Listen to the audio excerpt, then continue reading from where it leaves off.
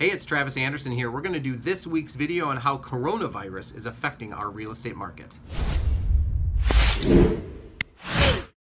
Hey, we're going to look at three things here today. We're going to talk about my current activity within within the market. We'll talk about the market as a whole, and then of course we'll we'll make some assumptions about where things might go depending on how uh, the data looks. Okay, and then of course I'll make some awesome, fun recommendation about a, a, home tip, okay?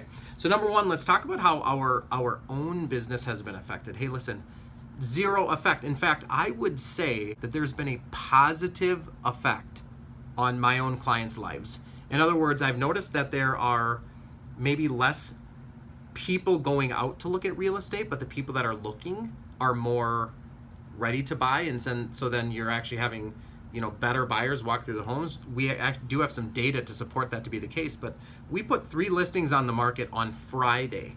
Now remember the shelter in place started on saturday and by sunday afternoon all three listings were sold for at least their asking price. Some of them sold for more. We worked with a buyer over the weekend. We worked with three sellers over the weekend. We've got active buyers right now that we're showing homes to. There isn't a, a vast change in the actual overall conclusion of buying and selling real estate so what has changed, of course, sellers were recommending again, leave the doors open, let's leave the lights on. Buyers, you know, sometimes it's like, hey, just put your hands in your pockets, let's not touch anything. If you're sick, stay home. If you have a fever, stay home. So there are things that have been affected. But as far as the actual buying and selling of real estate, there's been no effect in our team. What are some things that we are noticing? When we go to closings, I had a closing today, they asked me not to go into the room. The title closer said, hey, just sit out in the lobby. When I'm done, we'll, we'll bring, bring out the, the paperwork for you. Okay, so I didn't get a chance to sit in with my clients. We just sat in the lobby and waited for everybody to finish up. So uh, they're putting buyers and sellers in separate rooms. A lot of sellers they're asking to sign at home or come in and sign early, so we're putting less people in a room together. Title companies are going down. I walked by a title company on the way into this video and they were spraying down the door handles, spraying down the tables, and getting everything really clean. So obviously that is a change, how we're approaching working with buyers and sellers. We've done some video conferencing. I mean, one of the listings we put on the market on Friday, I've actually never met the um, misses. We just did a video conference call for that. So, you know, some of those things for sure. We're doing more video tours. All of those things are true. But let's look at some of the data, okay? I wrote some things down here. I wanted to analyze all of March so we could take a look from a week by week basis what has actually changed. So let's talk about active listings. So this is new listing data. Week 1, 1300. Week 2, 1390. Week 3, 1600 and week 4, 1550. Now, it went up and then back down just slightly. So as far as new listings that hit the market in the month of March, I would say there's a variably no change, right? Probably seasonal more than anything else. Do I expect for listings to continue to come on the market at a high level? I actually do. There's still room, like we've talked about in previous videos, to get more listings on our market. And so we have a gap, I would say, of between 50 and 60% more listings. So I hope to see that number actually increase over the next couple of weeks instead of the slight decrease that it did from three to four. But we'll see. We'll see what happens after the shelter in place, so stay tuned for the next video. Pending transactions, get this. Week 1, 1223, week 2, 1486, week 3, 1585, and week 4, 1451. So again, were there less buyers in the entire MLS? Yeah. However, we're looking at one variable, and one thing that maybe isn't perfectly accurate. Since it's the last week, a lot of our data doesn't get inputted until afterwards. And so, in other words, we're maybe 100 homes less sold on the market in the fourth week from the third week. But that was just literally Friday and Saturday and Sunday. So some of that data might increase over the next few days as we actually input data into the MLS. And so, again, variably no change in, in number of buyers buying. Here's the change in the market that I want to talk about. Week number one, 29,000 total showings. Week number two, 28,400 total showings. Week number three, big decline, about 30% less showings, 22,000. And then again, another 30% less showings, 16,700. Now, in previous videos, I've looked at just one price range. Here I looked at the entire market for showings.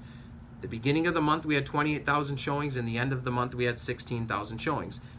That looks to be like a, a very large change, and of course it is a large change.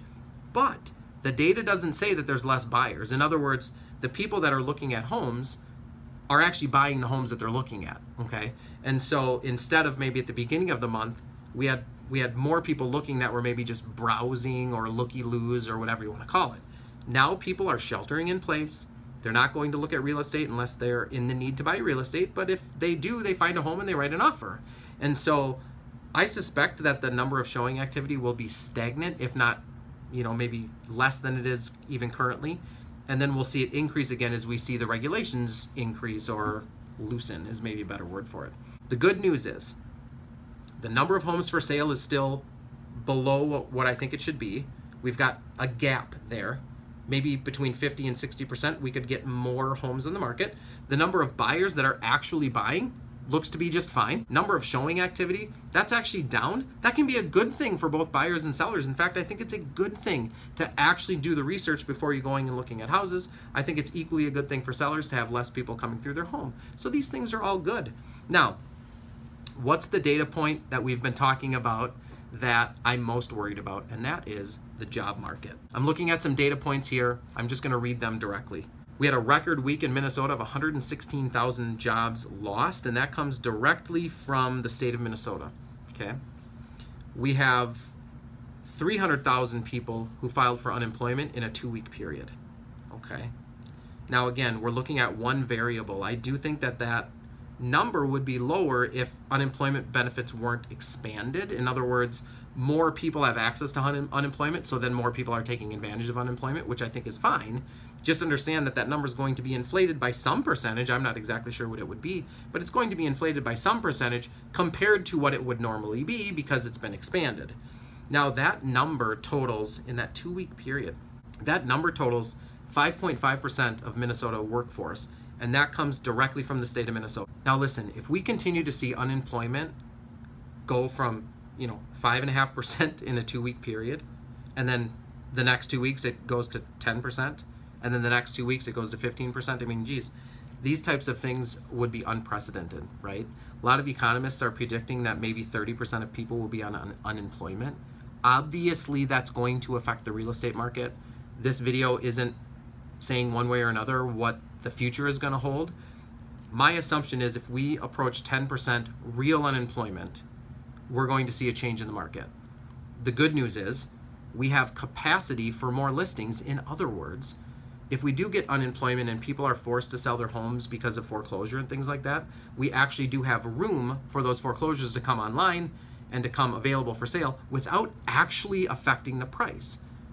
We just don't know how much this unemployment is going to affect things. And of course, there's a byproduct of, of unemployment of things like, you know, domestic violence, um, suicide, things like that, all of those things too will eventually affect the real estate market. And so hopefully unemployment, we're able to kind of curb this. My hope for everybody is that we're able to get through this situation as quickly as possible and that the market begins to recover, the economy begins to recover.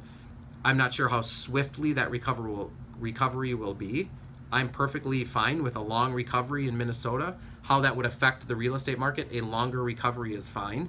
It's just we need recovery to begin sooner than we need, uh, you know, than the bottom to bottom out. In other words, if we see recovery in the next 60 days, 90 days, uh, 120 days, we're probably going to be okay. If we don't see recovery for six months, 12 months, 18 months, obviously we're going to have some issues. Time for a home care tip. You know, I had a conversation with one of my clients the other day, and they had said that their toilet bowl had, you know, some calcium buildup around there. And of course, you can buy products to take care of calcium buildup all over the place. And they said they were having a hard time, right? Like bleach wasn't taking care of it, CLR wasn't taking care of it. And here's something that I had remembered from a listing that I had owned myself that I had sold a few years ago is pumice stone. You can go to your local store like Walmart or Target and you can actually get a little stone that you can use to like clean the skin off your feet so you find it in like the home care section and and you can use that and that will work to take off any buildup inside of a toilet and it won't wreck the porcelain of the toilet. So just do a YouTube video, search pumice stone on toilet, you'll see what I mean. If you've got buildup, that's a great way to get it out of there without using chemicals. Hey, if you found this video helpful, feel free to share it on your Facebook page. Feel free to tag me in the link. You know, maybe share it to a friend. I hope that these videos are helpful for you. They're definitely helpful for me to stay in touch with what's actually happening so I can provide better advice to you during these challenging times. Have a great day.